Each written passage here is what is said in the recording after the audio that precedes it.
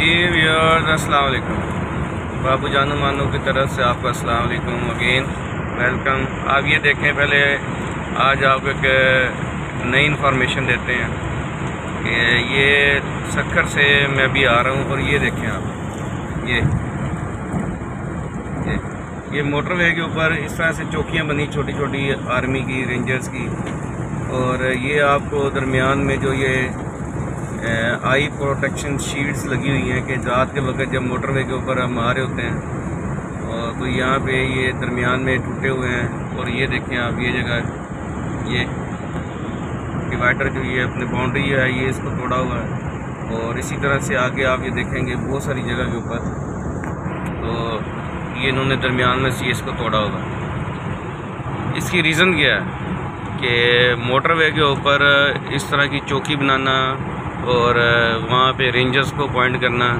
یہ علاقہ جو ہے نا، یہ سکھر سے جیسے ہم نکلتے ہیں، تو یہ علاقہ جو ہے آگے کچے کا علاقہ کہلاتا ہے، کشمور تک، رحیم یار خان تک۔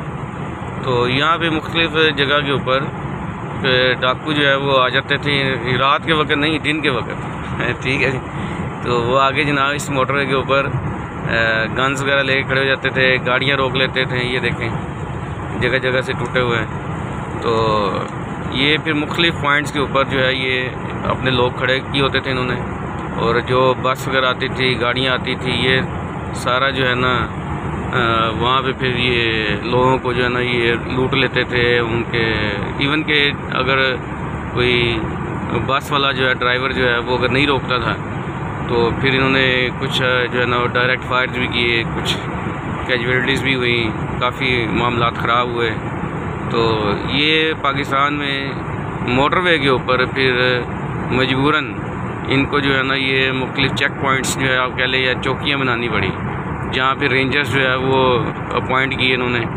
اور آج تو ویسی ماشاء اللہ بارش ہے، لیکن ابھی جو ہے نا یہ انہوں نے کافی حد تک اس کو کلیئر کروا دیا۔ اور یہ لوگ، یہ دیکھیں آپ، اس طرح سے یہ لوگ اوپر آ جاتے تھے اور سکون سے بیٹھے رہتے تھے۔ اور یہ یہ چوکیاں بنائی ہوئی تھیں، یہ دیکھیں۔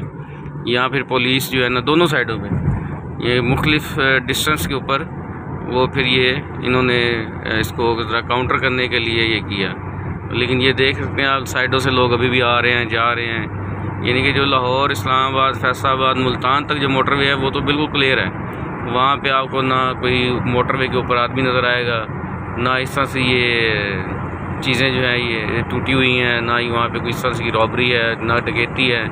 ٹھیک ہے جی۔ لیکن یہ علاقہ جیسے ہی آپ جو ہے رحیمہ خان سے آگے آتے ہیں اور سندھ میں انٹر ہوتے ہیں تو یہ کچے کا علاقہ آ جاتا ہے۔ تو یہاں پہ ان کی بڑی جو ہے نا وہ جناب دہشت رہی ہے۔ اور ویڈیوز بھی آپ دیکھتے رہے ہیں تو کہ کیسے لوگوں کو واہ کر کے لے جاتے تھے۔ تو میں نے سوچا کہ چلے، آپ کو موٹر وے کی بھی سٹوری سنائیں کہ یہاں پہ یہ کیا ہوتا رہا ہے۔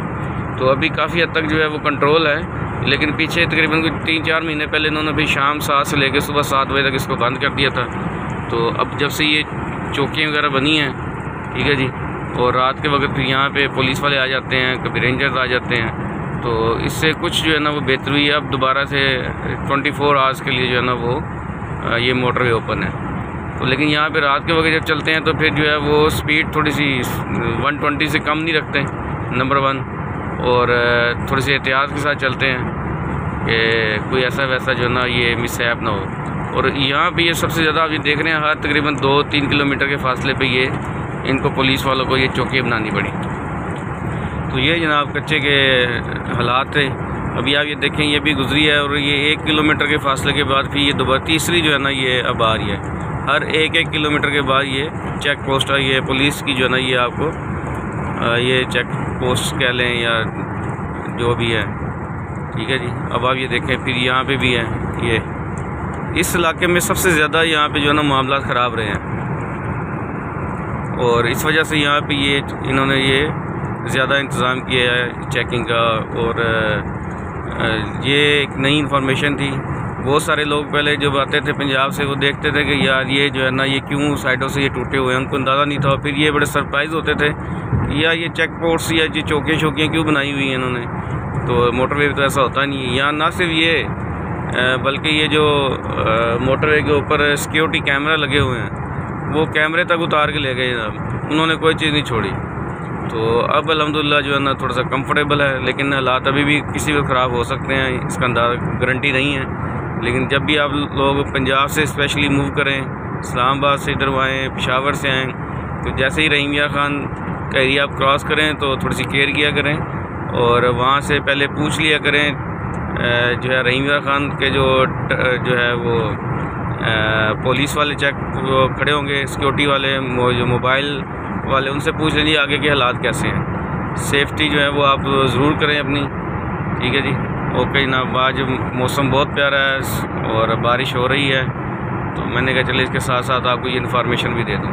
کیونکہ ابھی یہ تقریباً یہ جو، یہ والا چکے والا سلسلہ چلنا ہے، یہ تو چلے گا ابھی۔ میرا رحیمیہ خان تک۔ تو چلیں جی یہ ایک ذرا ڈفرینٹ انفارمیشن تھی۔ میں نے کہا آپ لوگوں سے شیئر کر دوں اور موسم دیکھیں جناب۔ کیسا زبردست ہے اور بادل ہیں اور چل ماحول ہے۔ اور دس گھنٹے کی ڈرائیو ہے لانگ ڈرائیو ہے آج۔ اوکے جی ٹیک کیئر اللہ حافظ۔